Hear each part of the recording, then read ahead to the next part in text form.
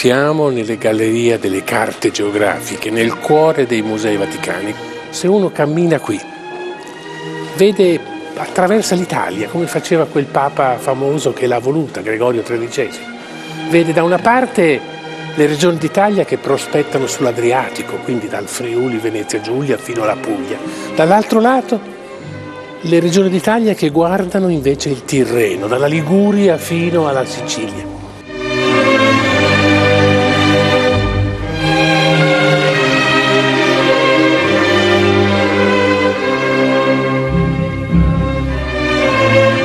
Ogni affresco racconta le città, i paesi, le frazioni, i villaggi, descrive i fiumi, le montagne, i boschi, i laghi e racconta anche la storia perché i grandi episodi della storia sono rappresentati dentro ciascuna carta geografica.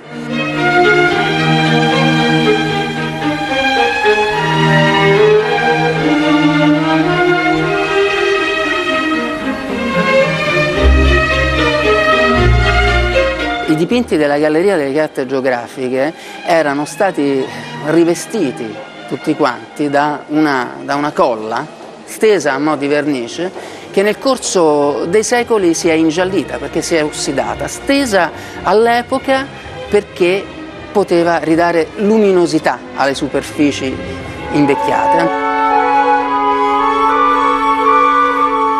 Il nostro intervento in primo luogo ha restituito il rapporto cromatico corretto che eh, eh, questi dipinti hanno. Non solo, ma questa eh, sostanza sovrammessa appiattiva tutto quanto, per cui le montagne, le valli le colline non avevano più, avevano perduto completamente il loro plasticismo e, e, e in questo senso l'intervento ha restituito la profondità no? ha restituito la profondità e, e, e la prospettiva a tutte quante le superfici.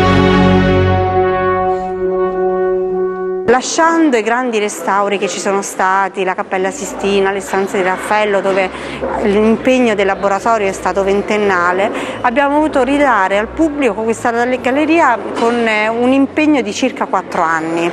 Una delle prime eh, emozioni è stata la scoperta del colore. Il secondo passaggio per un turista già più attento eh, che segue il dettaglio è, è stato di andare a riscoprire il paese di origine di di, ogni turista magari italiano.